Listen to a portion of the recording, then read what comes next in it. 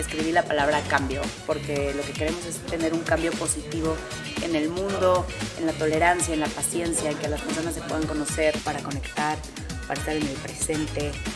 Nada, a limpiar esas malas energías.